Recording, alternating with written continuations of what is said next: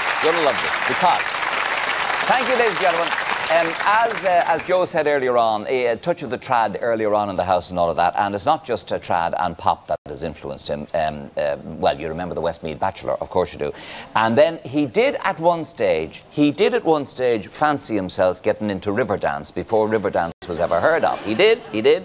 Before Moya Doherty and John McColgan ever heard of Riverdance, he fancied himself as a touch of Riverdance. And, and to represent all influences now, uh, under one umbrella, we have uh, Drifters trombone player James Shannon and the Rough Deal String Band to accompany one of the world's most accomplished uh, dancers that we've come across. Would you welcome, please, Ira Bernstein? Ira Bernstein.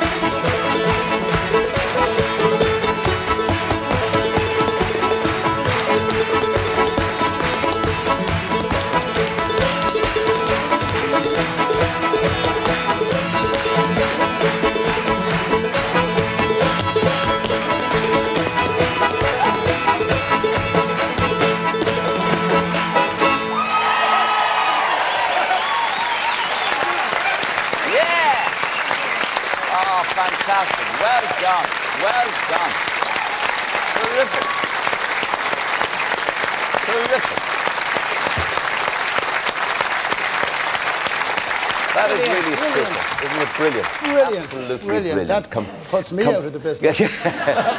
completely loose from the waist down. Absolutely, Everything yeah. just, just uh, I was a bit loose from the head up. well done, Ira. Well done. Now, Seamus Shannon, you, how long did you play trombone uh, in the band uh, for? About four years, Gay. Four years. Yes. And why does a man switch from trombone to accordion? Well, uh, the reason I got interested in it, Gay, was at the start, uh, there was a local band in my own town and they had a sax player and a trumpet player, but they had no trombone player. And he actually had a trombone in the house, and uh, he asked me to sort of, well, mess around with it, if you, if you like, and see what I learn a few scales and things like that. So, if you like, I graduated from there. But I, little did I know I was going to meet Yeah. the, the man from Mullingar. Yeah, so, so you just picked it up, as it were. did I you? just picked it up, Gay, and started playing around with it, you know. I hate talented fellas like you. do You know, just can't stand guys like you. And Can't- very talented trumpet Very player as well. As, indeed, as, yeah. as, as well as being a past master on that accordion, he's, he's Yeah. fantastic. Um, well, you travelled everywhere with, with his nibs then, did you? You- you- We travelled uh, everywhere. We were nearly, if you like, uh, living out of a suitcase, really, you know, because it was seven nights a week, uh, 52 weeks of the year, you know. Yeah. And was that too much for you? Well, uh, Joe seemed to be able to manage to, to, to stay with it. And uh, I found then towards the end it was getting a little bit much, all right, you know. I see. And did you just pick up the accordion and pick that up as well? I did. I was always a, a kind of a fan of the accordion, uh, Gay. Uh, my father played it, and uh, he sort of, well, he bought me an accordion for 12 and sixpence in a local shop in town. And the first tune I played was Silent Night, and it was kind of push and pull and all that stuff, you know. Wonderful. 12 and 6. 12 and 6, yes. Ah, dear, oh dear. Play us something now. Just, just. This is totally unaccompanied, but I'll try it, Gay. it's a little number called the Beer Barrel Polka, and sure, maybe when we're going to roll out the barrel, you can all sing it out. Of course. We'll roll that over.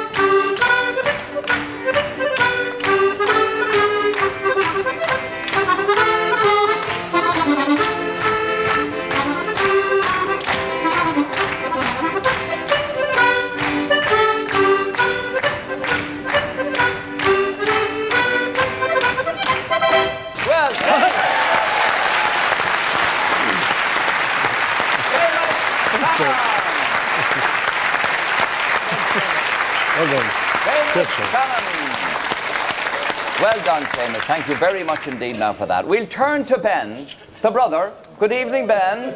How are you? Would you like to mention...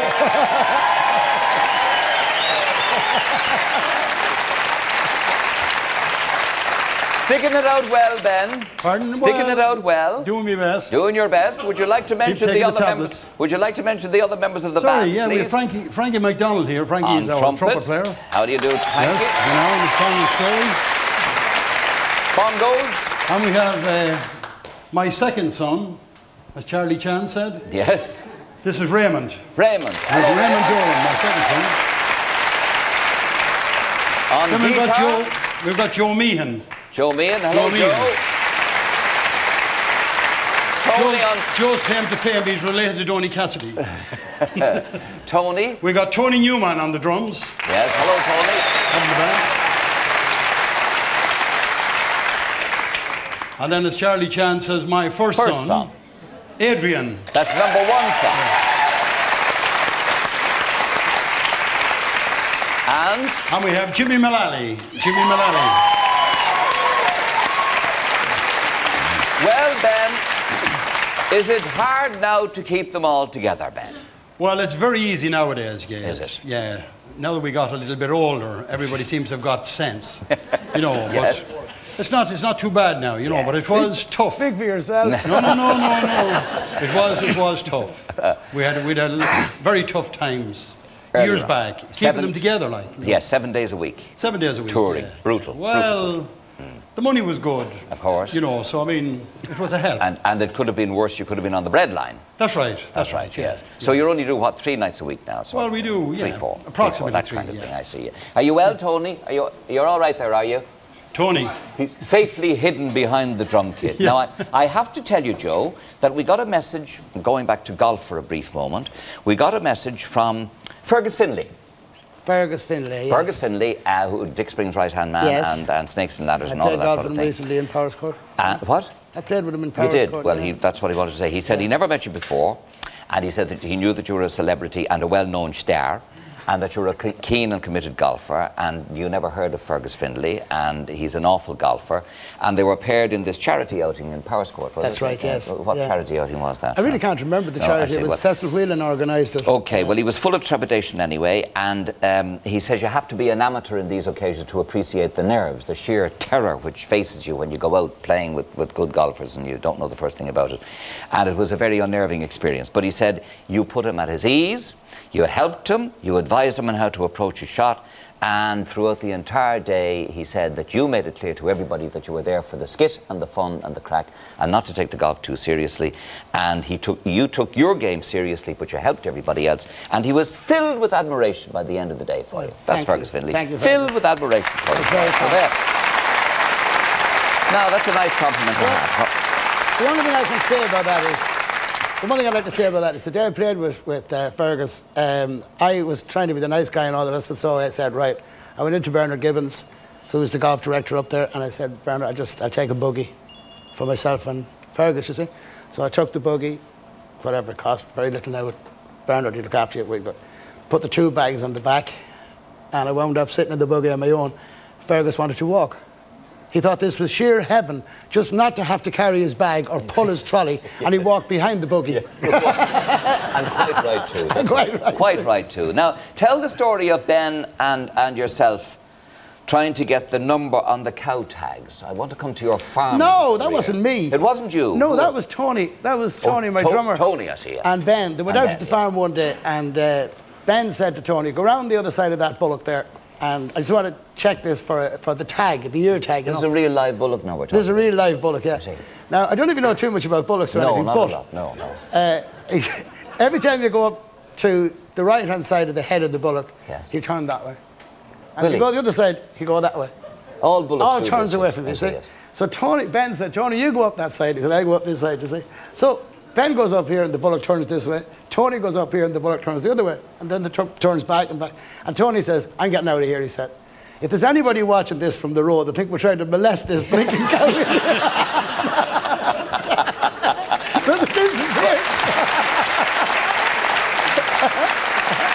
but Tell me, tell me about the farm. Uh, have you a farm? Yeah, well, we have a farm down in Mullingar, yeah. Yeah, well, How big a farm is it? Well, it's a big one. How how big is it?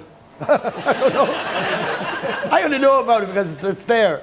Uh, I don't go to it. I was there last week to look at uh, my nephew's new house down there. He's getting married on next Monday, so Yes, but Michael. where did the farm come from? Whose farm is it? It's our farm. We bought it. Who's ours? Who's us? Well, Ben. Ben and you Yeah. own this farm. Yeah. So you bought this farm. Yeah. Why? Well, uh, well, I suppose an investment, if you like. And a bigger farm. And uh, it's a big farm. How big is it? Well, it seemed a good idea at the time, yeah. How big like is every- the bloody farm? How big is it? Sorry, yeah. Gay, How big is the farm? 200 acres. 200 acres. 200 acres, yeah. And what have you got on it? We've got Cattle and cows, I, I and, talked to Ben. What, what have you got on it then? cows and calves, Cows and calves. Yeah. mo- mainly. Yeah. You know, and anything else? Do you grow anything on it? Well, Grass. we don't really, no. Just, just, just grass. I see. About how many cows and calves would you have on it then? Well, I'd say we about, I don't know, 120, 150. I see. And what do you intend to do with them? eat Well, them. we sell them, we sell them all. huh? We sell them to the gravel arms of Mullingar. The big So that's That's the I sort know we sell them on. I mean, the price is bad at the moment. Oh, sure, don't I know? You know what I mean? You're ben, even I know like we that. were Ben. all marching last week. Yes, yes. You know. You were But out I mean, marching, it's, were you? Yeah. I mean, it's, it's like the band business, you know. Yes. What? It's bad, but it's not that bad. I see. You know. I see. The lads who were marching thought it was very bad. Well, the they did, band yeah, business. yeah. they were- But it was, it was a nice day out. I see. It was a nice day out. I Yeah. see. So you're you're and there's somebody looking after this farm. There is, yeah. I'm trying to get at the fact that do Sorry. you get your feet d- mucky in the farm? Do you? No, I just look at it from the road. I drive down to the front gate, I have a look at it, say, how far down is it going? He said, well, see that ditch over there? Well, two more over that. I said, that's grand. Yeah, I And four down that way, five up that way, so just have a look. So you wouldn't know any of these cows personally, would No. you? No. no, but Tony, Tony does that. Totally. Because he does. Yeah, what do you mean by that now? Well, after looking at the, the ear tags, Uh, is there a manager in the farm or something? There is, yeah, yeah. the manager is over here. son of son Michael. Michael is over see. there at the front row. Well, the thanks corner. be to God we've clarified that. anyway. it took a long time, but I'm glad I got to the root of it anyway. Now, how's That's Dolan's Michael bar- there and his, and his fiancée. Good that get evening, married Michael. on Good evening uh, to you. next Monday. I, I can see you have your problems. You have my sympathy. so now, um, Dolan's bar. Dolan's bar, Joseph. How is that going? Dolan's bar is going very well. I got another nephew looking after that. See, his job is for the boys in, in our house. You have a plentiful supply of nephews, have Yeah, you? to loads of them, great, yeah. You're looking very well, by the way. I didn't want to be um, personal earlier on, but you're looking. Are you I on a thought you were diet? slagging me suit ago. No, no, no, don't, don't just. Yes. uh, it, it, but it didn't compare very well with Roland's. No. But anyway, are you on a diet or anything? Uh, no, I just uh, watch what I eat and watch what I drink. You know, I'm. I watch it before I drink it. just about to say, you have a look at it before you. Have a look yes, at it, yes, I see. Uh, So, um, but you, you're you're fussy about eating, are you? I'm fussy about eating, yes. Yeah. I How just watch. are you? Well, I tell you, cut out all sort of fattening foods. Yes. And uh, I eat uh, quite a lot of lamb. Uh, Yeah. Please don't chicken. shout at our guests in the middle of the show. yes. You cut I, out? I cut out. Well, I cut out um, uh, beef. You're cutting your own throat. I now. know, yeah, I know, yeah. Yes. But I, I eat lamb, I eat chicken, I, see. eat turkey, I I, eat fish, a lot of fish. Yes. And, in fact, I was invited to a butcher's outing one day uh, in Hermitage or someplace like that, and uh, some of the guys said to me, "You lost a lot of weight, like you know." And I said, "Well, I'm eating a lot of fish." And they said, "You were invited to the butcher's." well done. Now, Liam Fay. Where's Liam? Up there. How are you, Liam? Uh, could we have a word with you, please? How far back do you go with uh, with Joe Dolan? Uh, 1975, I think, is when I saw him 1975. first. Yeah, I grew up near the uh, Agricultural College in Warrenstown. They used to have a festival every summer. Yes. Every summer. And they had the cream of Irish showbiz there every year. Yes. But the uh, the ICA used to help out with the um, with the catering, and uh, my mother was in the ICA, so I used to get in free. I used to be able to go along as sort of official taster for the chips and sausages. That was my job. But uh, actually, Joe was always the star of the festival. He was always the one that the people in the the women in the ICA wanted to see, and also the one that was always sold out. So Yeah. I used to get to see Joe uh, right up right up front.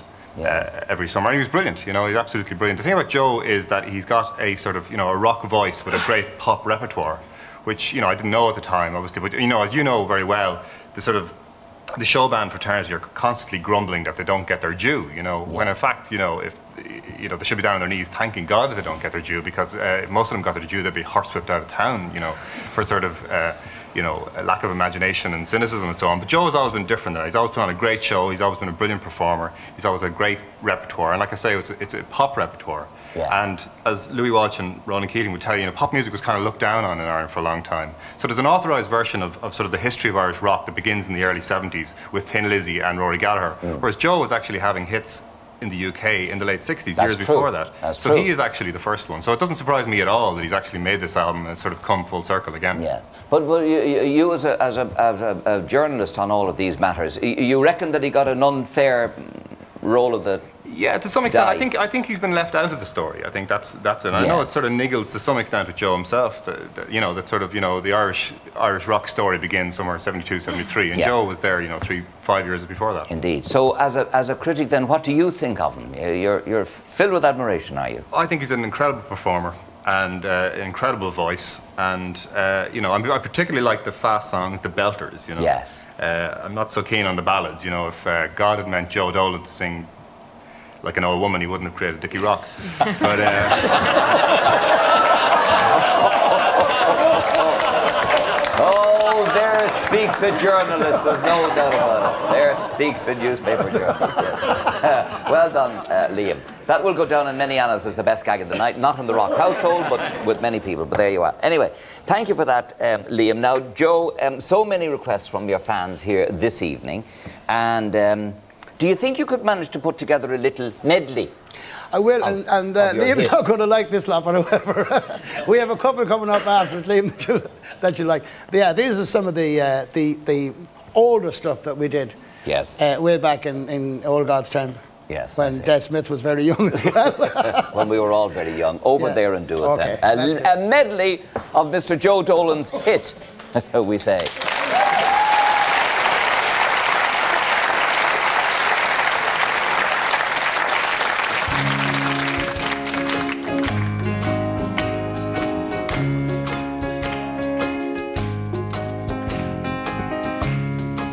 Don't ask me a mountain of questions when there is only one answer to it all. Do you love me? Really love me? As I love you, it's the answer to everything if you do.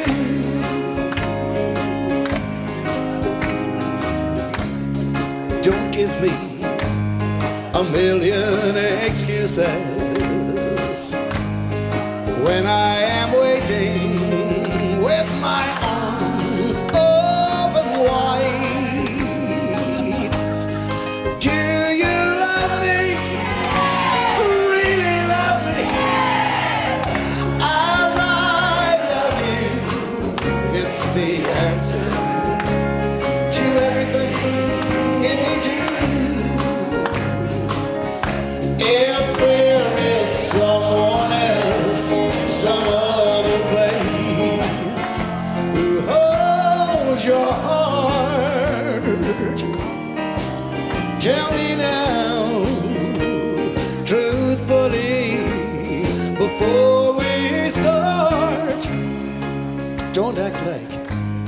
you misunderstand me.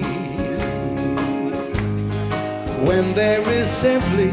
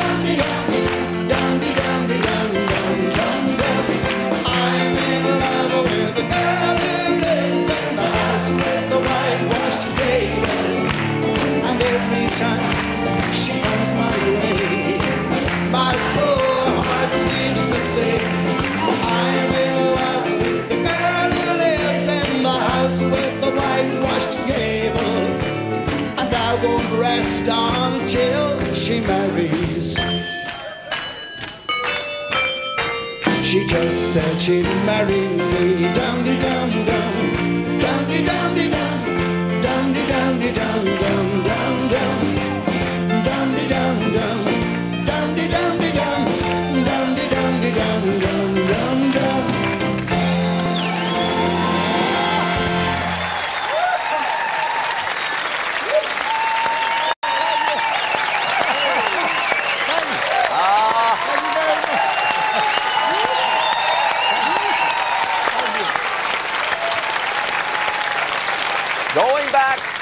going back through the years, and this will make Liam Fay feel really bad because Dickie has just phoned from City West, where he's apparently out with uh, with Christy Jr. And he wants to wish you all the best and enjoy your night, and he loves it, loves it. So there you go. Well, that's especially from Dickie. Now, Joe mentioned Joe mentioned about his fitness routine, and and and we know that he loves a little Ballygowan um, mixed with um, um, more Ballygowan, and um, and and we also heard uh, on the wireless that he loves Waterford Crystal. Now Ballygowan have a double celebration this week because the company produced their one billionth. One billionth bottle of Ballygowan water, and they also got the ISO Environmental Management Systems certificate. And to mark that particular day, especially for their one billionth and their ISO uh, distinguishment, uh, to mark the achievement, we have some Ballygowan plus two beautiful John Rocha Waterford Crystal drinking glasses for everybody in the audience. Now,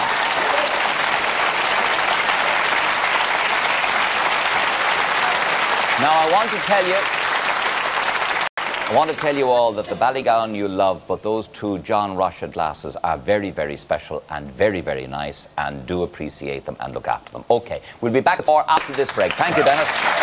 Thank you.